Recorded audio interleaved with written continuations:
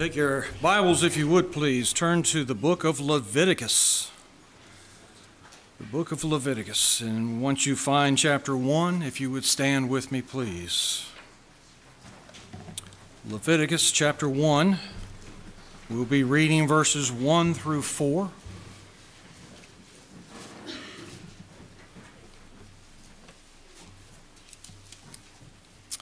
Leviticus chapter 1, verse 1.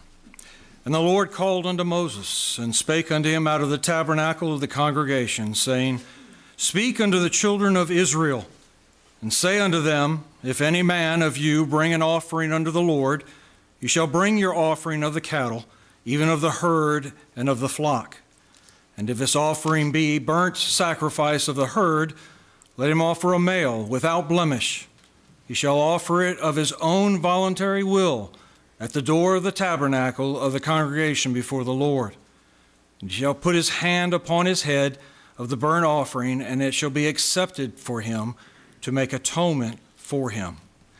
Dear Heavenly Father, we thank you so very much that you've given us your word.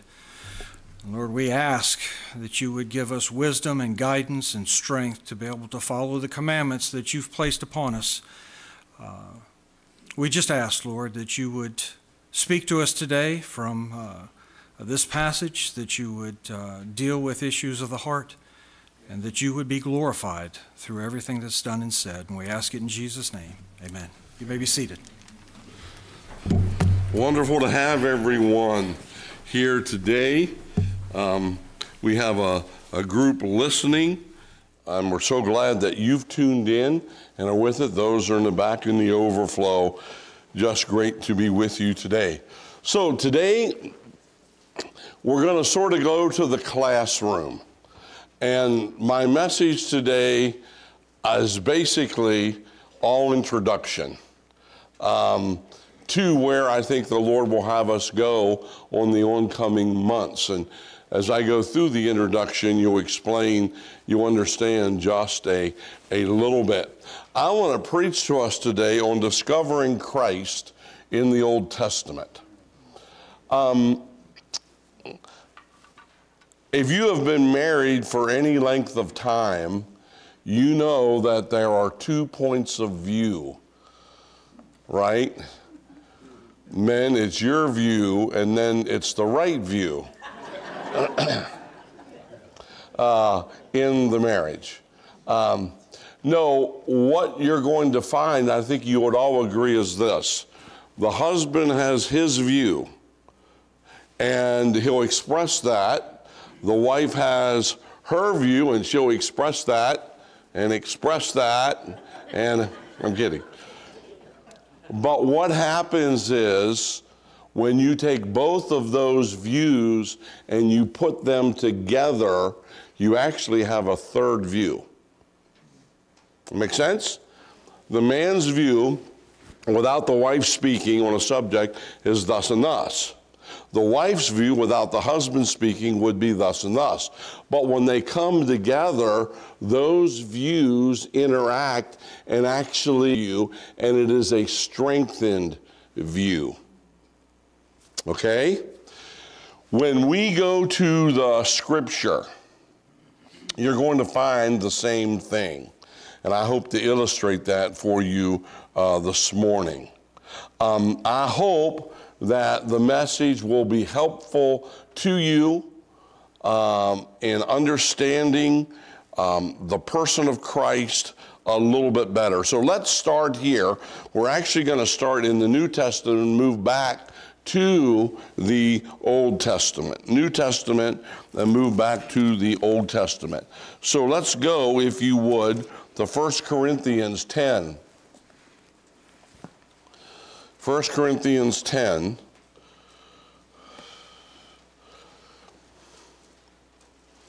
And verse number 11. Notice what it says here, 1 Corinthians 10 11. Now, all these things happened. And it's speaking of verses 1 to 10 about things that have happened in the Old Testament. Okay? Now, all of these happened unto them in the Old Testament for and samples or examples. To who? Well, us in the New Testament. And they are written for our admonition upon whom the ends of the earth are come. What he's saying here is the Old Testament, it has examples and it has admonitions for us. If I can put it um, this way, he says right here, now these things are written. That word written is to write or mean engraved. These things are engraved for our encouragement, for our learning, for our instruction. Uh, these things have happened. They have fallen out to be examples for us. So there are examples and admonitions for us where? In the Old Testament. Notice again, if you would, in Second Corinthians 3.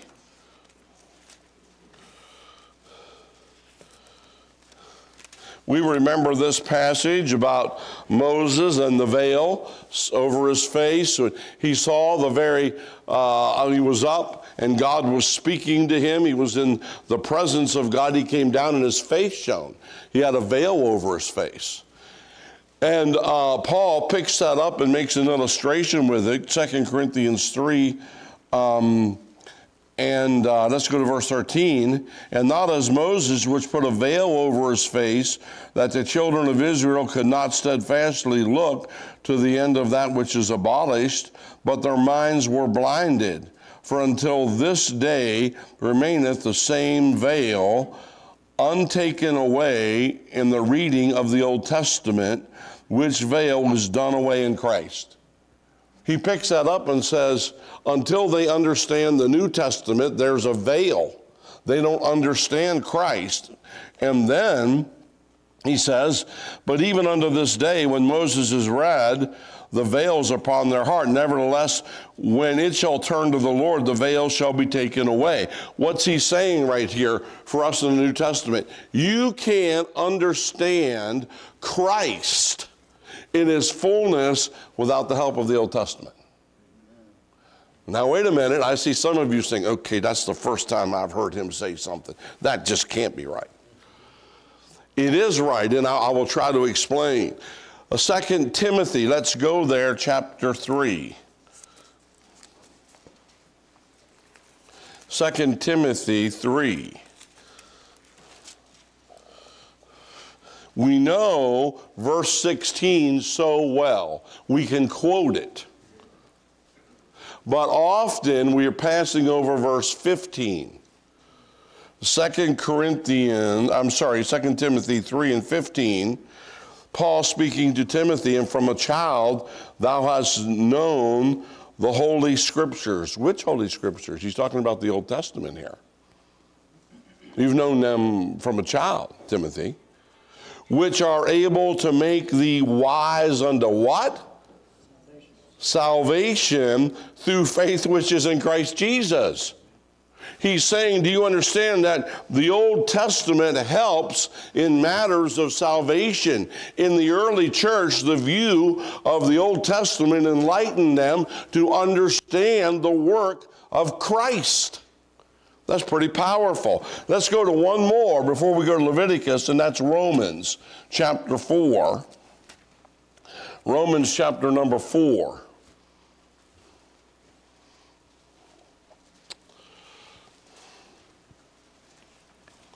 Romans 4 He's talking about justification by faith, and he's going to teach us about that. Romans chapter 1, 2, and 3 Jew and Gentile are all sinners, for all have sinned and come short of the glory of God. And by the way, if you're here today and you've never been saved, you need to embrace that truth. For all have sinned and come short of the glory of God. You're a sinner that needs a Savior, you're not a sinner that needs a church. You're a sinner that needs a Savior before you need a local church. Notice this, what it says. I'm in Romans chapter number 14, and I go to verse number 16. Therefore, it is of faith that it might be Romans 4:16 by grace to the end of the promise might be sure to all the seed not only that which is of the law but that also which is of the faith of Abraham who was the father of us all a spiritual father if you would. Down to verse 20 what about Abraham? He staggered not at the promise of God through unbelief but was strong in faith giving glory to God. Abraham being uh, and being fully persuaded that he which had promised, he was able to perform it. Abraham was fully persuaded, persuaded that that which God promised he was able to do. And therefore it was imputed to him who Abraham, Abraham for righteousness.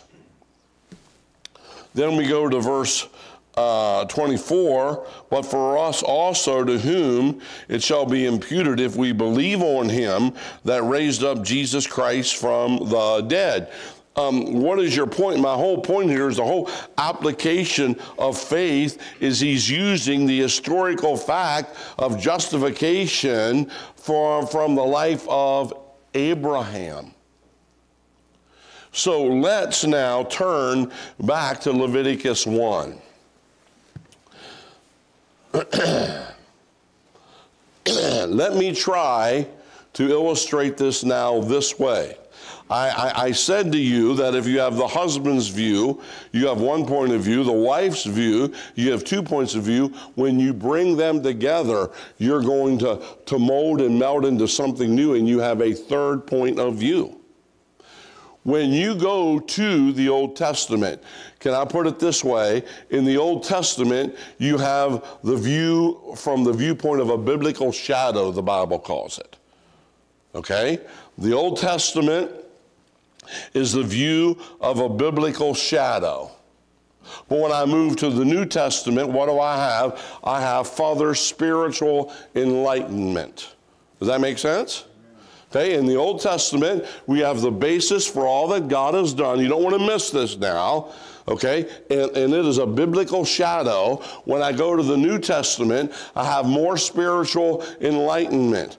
But when I look from the New Testament to the Old Testament, with the light I have in the New Testament, I have a third view, and there's more light concerning the person of Jesus Christ when you blend the New Testament with the Old Testament.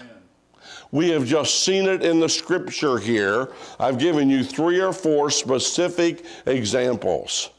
Husband, one view, wife, second view, together, a greater view. New Testament, there, there's nothing neglected when it comes to our salvation, of course not.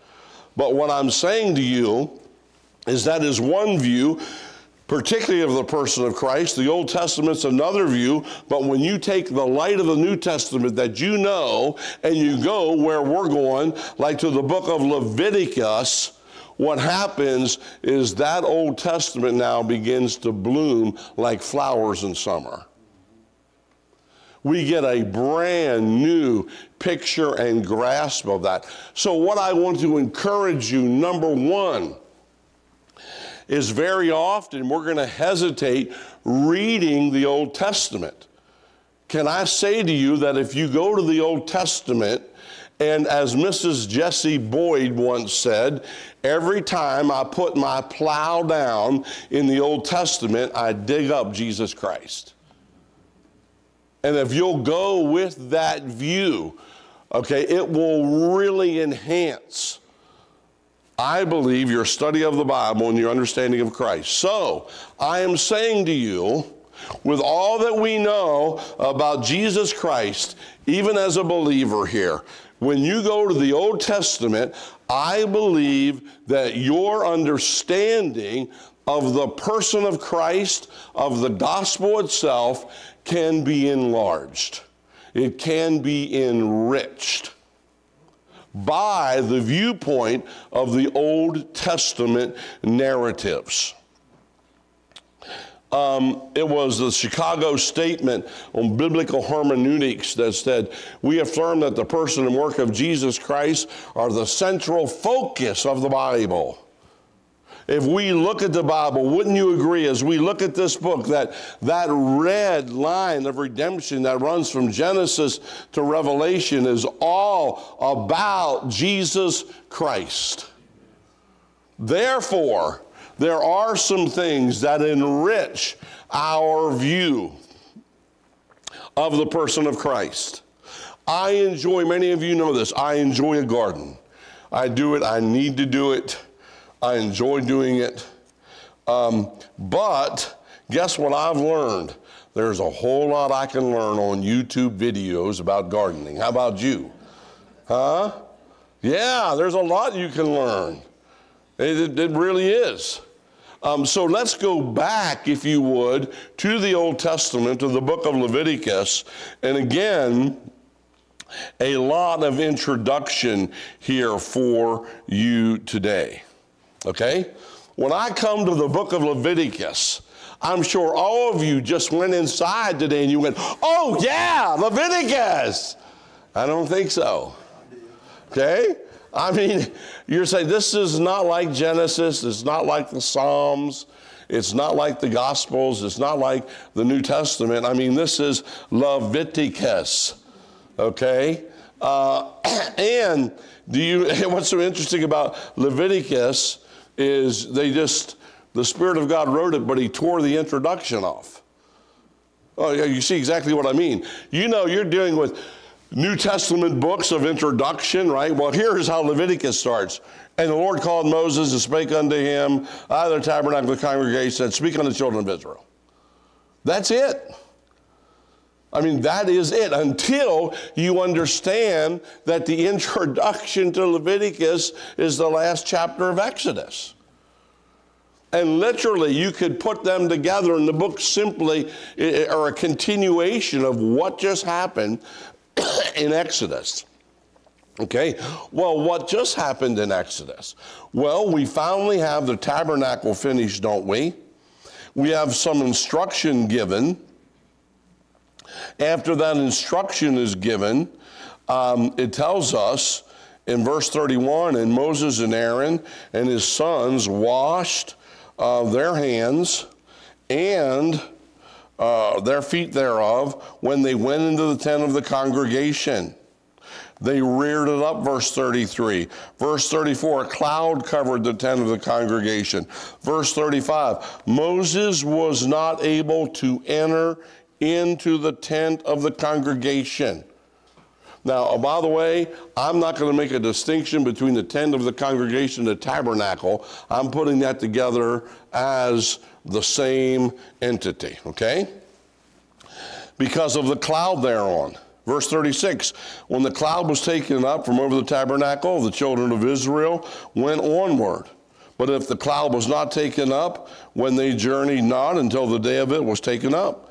For verse 38 For if the cloud of the Lord was upon the tabernacle by day and fire by night, in the sight of the house of Israel throughout all their journeys.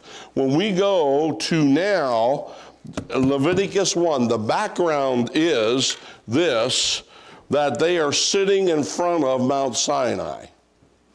And through the whole writing of the book of Leviticus and probably the first 10, 10 chapters of Numbers, they are standstill, sitting there in Leviticus in front of Sinai, and probably 50 days, God gives Moses, the writer of this book, all of this information. All right? What's interesting here as we do this, we go to a book that is full of offerings and feasts a book that is full of sacrifices, ceremony, instructions, rituals, washings, holy day observances, warnings, and a bunch of what we would consider little, just little, we might almost think biblical insignificant, but they aren't issues. We have leprosy dealt with here. We have mothers dealt with here. But the great theme of this book is the holiness of God. We have five books in the Pentateuch, the first part of the Bible, and it's interesting, the center book is Leviticus. We have all the histories, the laws, but the center of it, if you would, is the person of the Lord Jesus Christ. Sacrifice for us, and we're going to see that again and again if we take time here in this particular book. Genesis, we have the Creator, the covenant God. In Exodus, we have the Redeemer. But here in Leviticus, we have the Holy One. It sets forth the work of God through sacrifice. And if I could, if I could now, I, I want to begin in the first verse is sort of a heavy verse. And I, I, just want you to get this as, as an introduction, not only to the Old Testament and the person of Christ, but here's a, a little introduction as we carry over from Leviticus, from Exodus into Leviticus. And I want you to see this. God gives instructions on preparing Israel for sacrifice. Now, notice it. And the Lord called unto Moses. What makes that really significant is in the Hebrew, the first part of that verse is, and God called. And it actually carries with it the idea of God reaching out in his call and he's going to call to Moses, and he's actually going to call to the priesthood. He's going to call with instruction. God is reaching out, and when you see where he's reaching out from, it becomes really interesting. If you would, the, the, the sister to this in the New Testament is what? That the church, what is the church? It's a called out people from the world unto God. This church, if you know Christ as Savior, and I'm not talking about the physical church here, but if you are part of the body of Christ, you were called out from the world unto Jesus Christ, gifted by the Holy Spirit of God. This is the idea here. God is calling out, He's, he's reaching out. And what helps us with this when we look at this is we understand that Moses himself, number one, is a type of the person of Christ. He becomes God's spokesman. And the Lord called unto Moses and spake unto him. This is the one I want to speak to. This is the one that I want to use. Don't you love uh, the way God does that. It's always organized. God gives Moses truth and says, You're responsible to instruct. Well, it's like that the whole way through the Bible, right? God comes to the home and he says to the dad and then to the mom, by the way, fathers, you're responsible for the spiritual instruction of your wife to make sure she is at the place that she should be. She's under your spiritual guidance. Both of you together are responsible for instruction of the children. He, he comes to me, he calls a pastor and says, Okay, overall, number one, you're responsible here for instruction. Then he calls up other leaders, doesn't he? And you're responsible for what? Instruction and help and leadership. God does that again and again. Can I stop and ask you, are you saying no to God's call in areas of leadership? Would God want you to step up and be involved somewhere? Has the Spirit of God been saying, hey, hey, hey, I could use you here, I could use you here? Now, some of you are bowing your heads. Don't do that. I'm not ready to pray. Okay? No, no, no, no. Let's let God Let's let God call us. Maybe you're here and you're not sure about your salvation, and the Lord's saying, hey, hey, let's get this settled. Let's get this taken care of.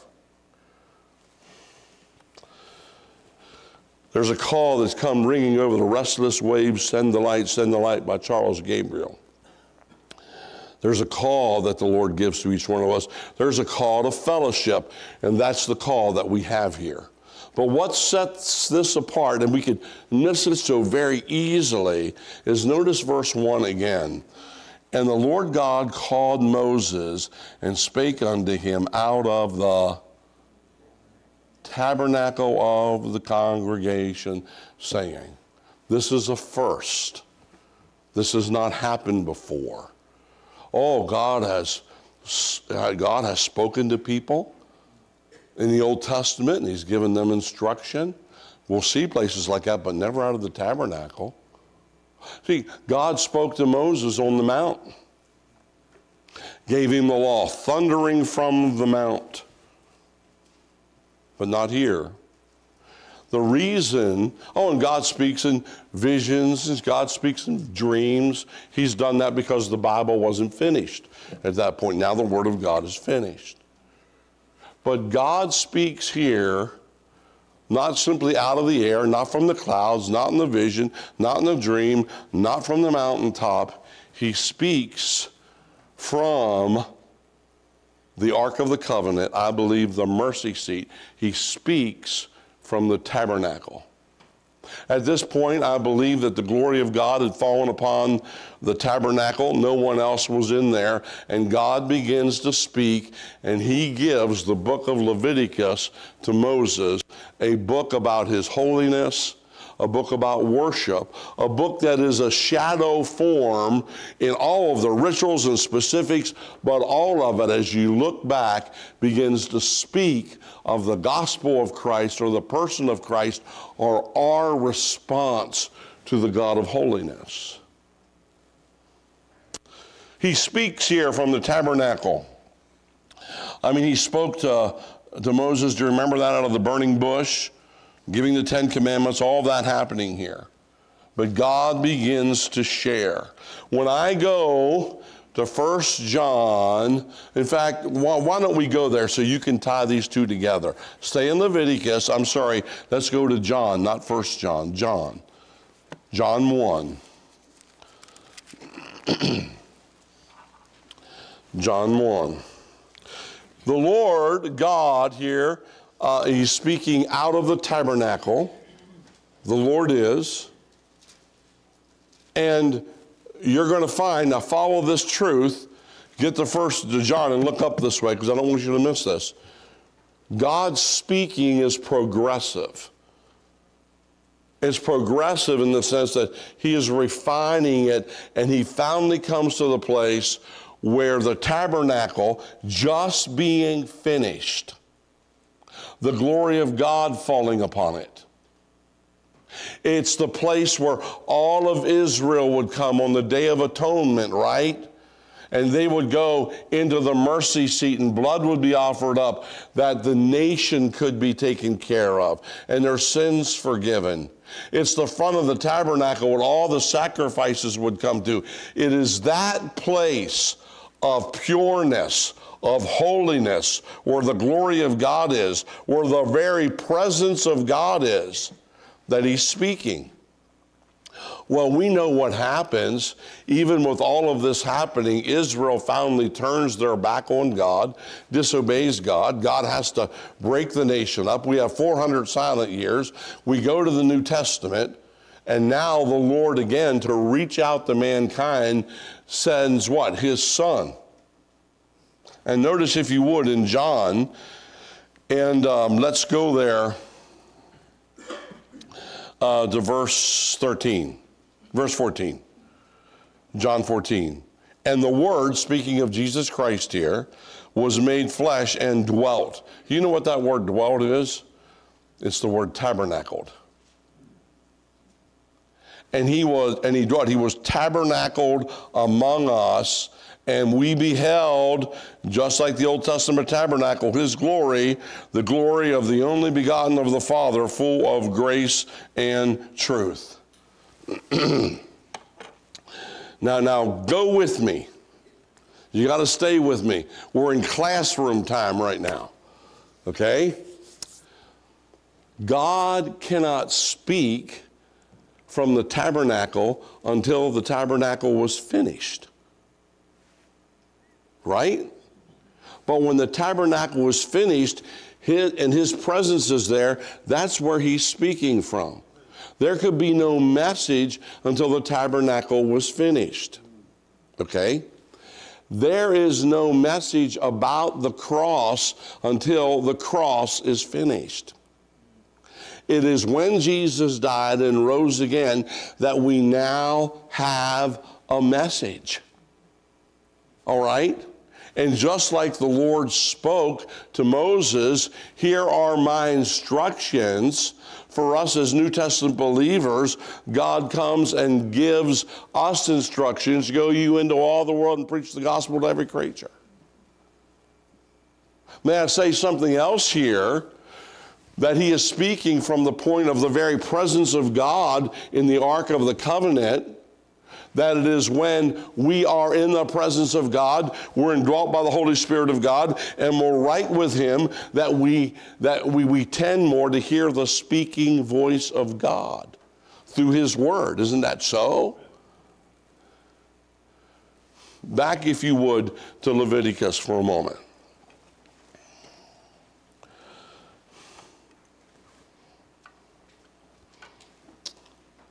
Now, I want you to notice as we move from there on, notice verse 2 Speak unto the children of Israel and say unto them, does everybody see this? What's the next three words? If any man of you bring an offering unto the Lord, not simply the elect, if any man. If any man bring an offering unto the Lord, ye shall bring your offering of the cattle, even of the herd, and of the flock. So he comes back, and we move to our, to our second major point here approaching God with a burnt offering. So let's talk about these offerings here. You have several major offerings in the beginning of the book of Leviticus. Lord willing, we're going to look at them. And as we look at them, I believe it will help us view better the person and working of Christ and our response to Him. These first offerings are voluntary. People come and bring a voluntary offering. But I don't want you to miss this point. I think it's really, really important. If any man, I'm going to stop and just say that the gospel of Jesus Christ that changes our lives, is, I believe, is open to any man. Amen. For God so loved the world, the Bible tells us. So if you're here today, and I'm going to ask you, has there been a time in your life you can go to your mind right now? You can go to in your mind right now and say, I know that I trusted Jesus Christ as my personal Savior. Can you go to that time in your mind? Uh, if you can't do that and you go and you say, Well, mama told me I did that, that's not sufficient. If you go in your mind to an experience, that's not sufficient. By the way, if you go in your mind and say, Well, I believe in God, that is not sufficient. You need to be able to go to a time when there's a transaction that's taken place, like we're going to see upcoming in these verses a time when you recognized yourself as a sinner, you gave God your sin, and He, in the person of Christ, gave you His righteousness. Not because we're anything, but because He's everything. So if any man, don't, if you can't be here today and say to me, I'm too sinful, if you only understood what I did, read the life of the Apostle Paul. Okay? He murdered other believers before he was saved. Okay? If you're here and you said, Well, I just can't believe, faith cometh by hearing and hearing by the word of God. Amen. All right? Those, those, those truths are there. The fact is, I just can't be saved is not true. It's not true. If any man, the Bible addresses us here. And we have a description, if you would, of this first offering, and we're just going to touch on it. It is called a burnt offering. Okay? Forget all the jokes, you know, about you coming home, just getting married, and your wife offers up a burnt offering. Just, just, just forget that. This burnt offering right here is the biggest offering of the Old Testament.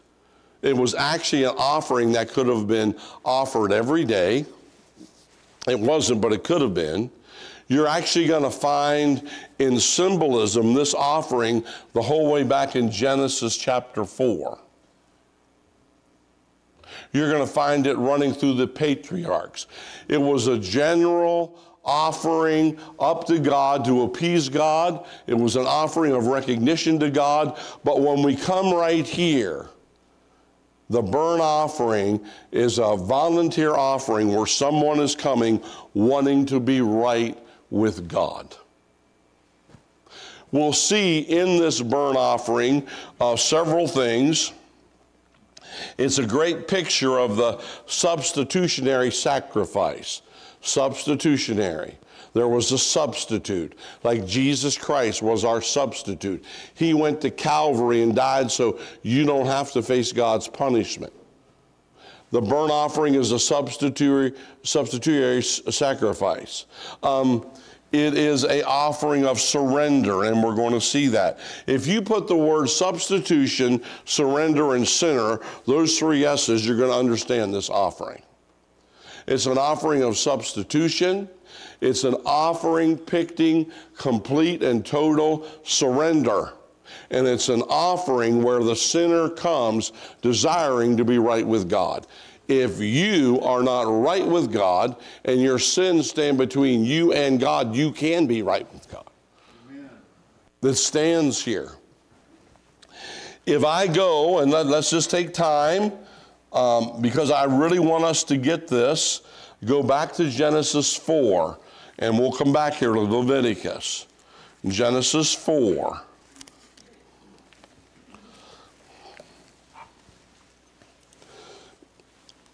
Right, Genesis 4.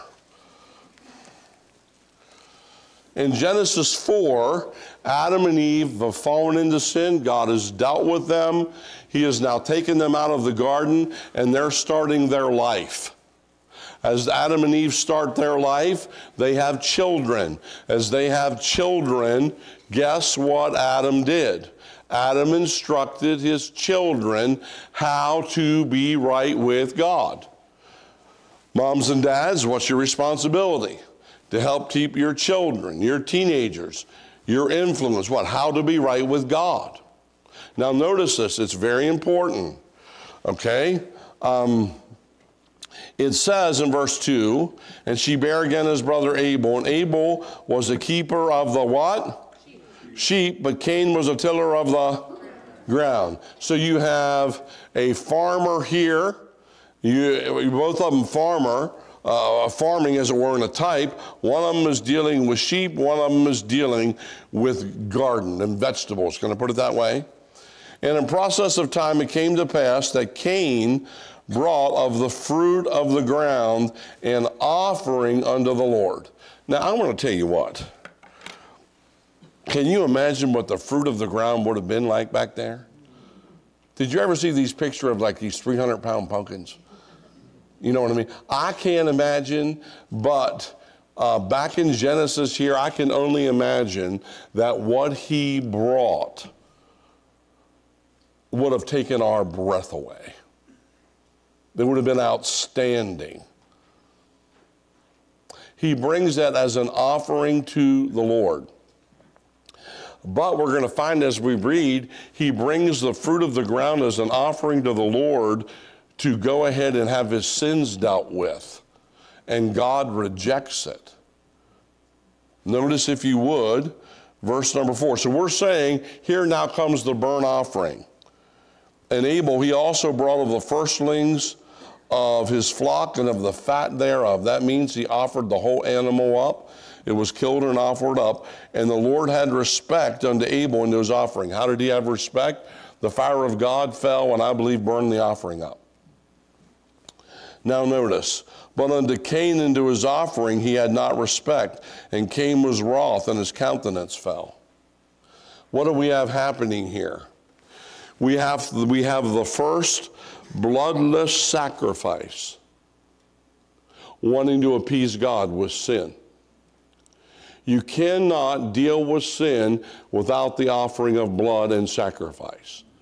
All those Old Testament offerings look forward to the Lamb of God, Jesus Christ, that would come and die for us. Cain is the first liberal theologian. We have them all through Frederick County here that believes God can be appeased if you put somebody in a baptistry or if you speak with tongues. or if you just do good works. Now, may I ask you, what is your salvation based on? Say, Pastor, I'm always struggling with my relationship with God. Well, let me ask you, have you established a relationship with Jesus? You see, you can know all about God. You can know about the Bible. You can believe in God. You can believe Jesus. You can believe all of those things. But if you've never done business with Him, that's what has to happen. Here is the first burnt offering, if you would. Um, for time's sake, I'm not going to turn, but I will read to you in Genesis 8. After the flood, Noah comes out, and what's the first thing he does? He offers up a burnt offering as a thank you to God for what he has accomplished. Now, I have the whole, the whole second section of this message that is just filled with our responses to God, and it's really good. And I'm going to save it for tonight. All right? So please come back tonight. All right? You, you wouldn't cut um, a train and its cars in half. Okay? So come back tonight. Again, I said this would be a message of introduction, and I hope it's been helpful with your view of the Lord Jesus Christ. Let's, let's go ahead and pray. Our Heavenly Father, thank you so much for who you are. Thank you for your watch care.